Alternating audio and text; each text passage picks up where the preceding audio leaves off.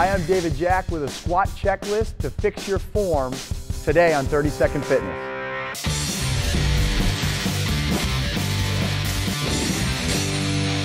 The squat is one of the only exercises that we train in the gym and use in everyday life. Here's a four-step checklist to do them right. One, set your feet with a comfortable width, toes lined up. Two, push your hips back like you're sitting in a chair as you lower down into the squat position. Three, keep a big open chest with your head up. And four, drive through your whole foot to return to the top. Use a bench or a chair to help you clean up your form. Apply these simple fixes to perform better in the gym and to feel better in everyday life. And check out our other videos for more ways to get fit in a half a minute.